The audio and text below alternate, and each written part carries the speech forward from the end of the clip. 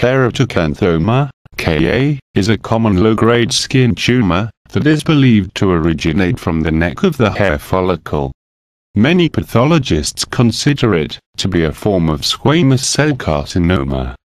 The pathologist often labels Ka as well-differentiated squamous cell carcinoma, keratoacanthoma variant, because about 6% of Ka manifest itself as squamous cell carcinoma when left untreated.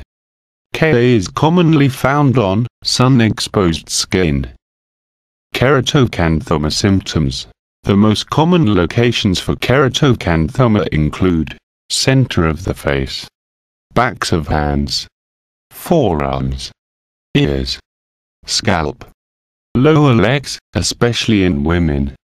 A keratoacanthoma appears and grows rapidly over the course of 2 to 6 weeks. Starting as a small, pimple-like lesion, a keratoacanthoma typically develops into a dome-shaped, skin-colored nodule, with a central depression, filled with keratin, the major protein found in hair, skin, and nails. Keratoacanthoma usually range in size, from 0.5 centimeters. Keratoacanthoma treatment. Keratoacanthoma should be treated for several reasons. To obtain pathology, keratoacanthoma can be difficult to distinguish from invasive squamous cell carcinoma. To be rid of an unsightly, tender or worrisome lesion. To minimize the scar, which can be more unsightly if the lesion resolves on its own. Treatment requires destruction of the lesion.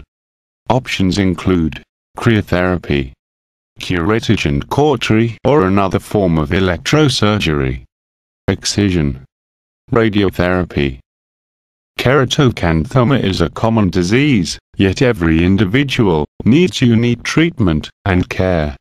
We encourage people with keratoacanthoma and their families to learn as much as possible about the latest medical treatment and approaches, as well as healthy lifestyle choices. For more information about keratoacanthoma and how to treat keratoacanthoma, just click on the link at description or visit www.mainmd.com. Thank you.